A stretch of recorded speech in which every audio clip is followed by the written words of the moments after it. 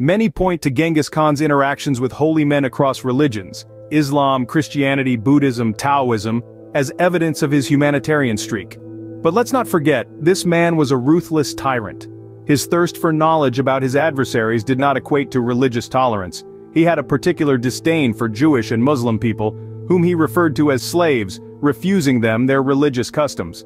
The Khan was perturbed by his conquered people's refusal to eat Mongolian food. He responded by prohibiting them from preparing their own meals, a direct affront to their customs. Muslims found guilty of killing a sheep faced serious repercussions. Jewish people were barred from performing circumcisions. In Genghis Khan's kingdom, you abided by his rules. His study of other religions likely served as a means to better control his subjects, rather than foster coexistence. For more, check out our full video linked below.